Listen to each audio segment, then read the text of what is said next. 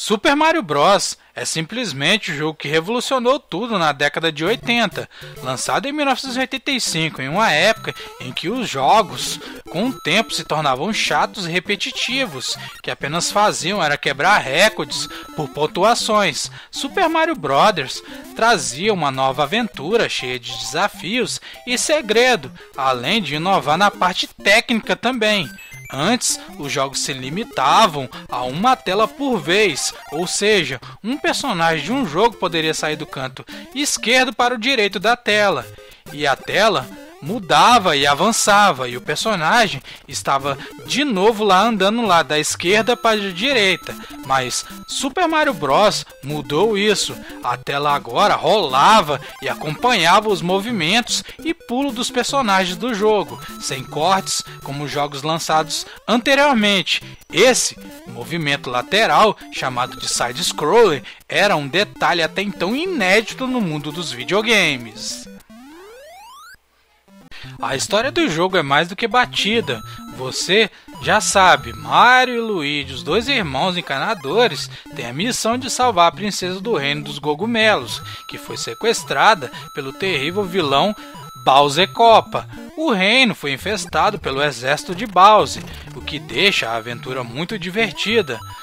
Um detalhe hoje já batido, mas que na época era bem curioso, são os power-ups. Os irmãos Mario e Luigi começam pequenos, mas crescem ao comer um cogumelo, passando a ser capazes de quebrar blocos de pedra e ainda podem atirar bolas de fogo ao encostar em uma flor de fogo.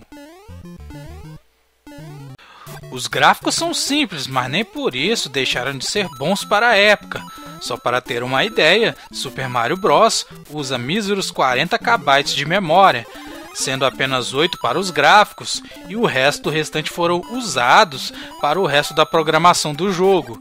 Mesmo com toda a limitação gráfica, os cenários do jogo são bem feitos, apesar de um pouco vazios, mas as animações dos personagens estão excelentes, os efeitos sonoros são gostosos de ouvir até hoje e para a época em que o jogo foi lançado foram revolucionários.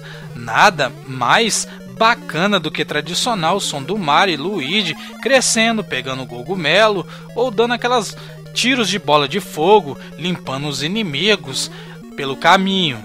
Praticamente toda ação terá um som característico no jogo e todos são excelente qualidade.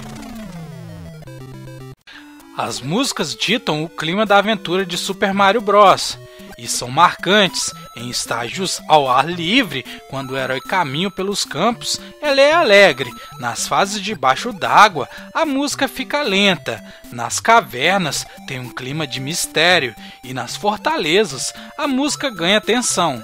Tudo isso graças ao trabalho de Konji Kondo.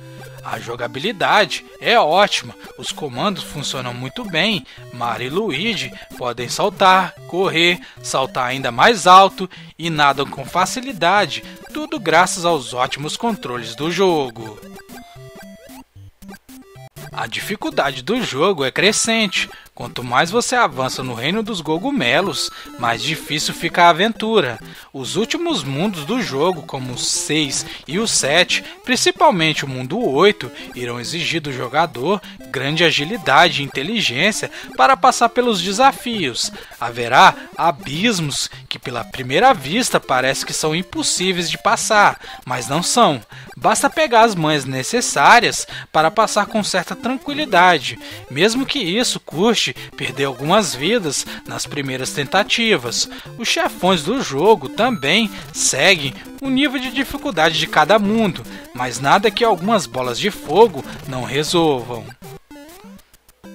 Super Mario Bros. realmente marcou toda uma geração de game maníacos, revolucionou a indústria dos jogos para os videogames, apresentando importante evolução técnica, além de ser em si um jogo muito bem construído e cheio de novidades em termos de jogabilidade. Shigeru Miyamoto trouxe ao mundo um jogo divertido, com uma duração bem maior do que estava acostumado nos anos 80. Agora você tinha um objetivo claro e não apenas se limitar a fazer maior pontuação matando dezenas de inimigos, e sem falar na boa ideia dos Warp Zones, que possibilitam o jogador a encurtar a sua aventura, não sendo mais obrigado a passar todas as fases para chegar ao final do jogo, algo que poderia tirar a graça do jogo, mas, na verdade, faz com que o jogador não passe pelo mundo inteiro sem se dedicar ou explorar os cantos da aventura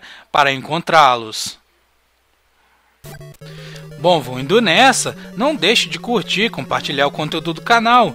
Vejo que tem bastante gente que assiste os vídeos, mas não está inscrito no canal. Galera, bora aí clicar em se inscrever, ativar o sininho para receber todas as atualizações do canal. E valeu, falou, até a próxima, fique com Deus.